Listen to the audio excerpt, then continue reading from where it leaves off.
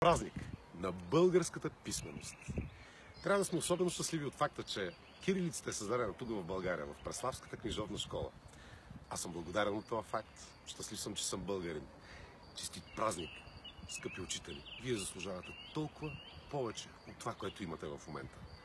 Но така или иначе, тези от вас, които считат тази професия за призвание, успяват да накарат учениците да обичат България, да се чувстват щастливи, достойни граждани на света. Скъпи ученици, честит празник! Те от вас, които са на манифестация, браво, дързайте! Честит 24 май, приятели! Бъдете горди, че сме българи!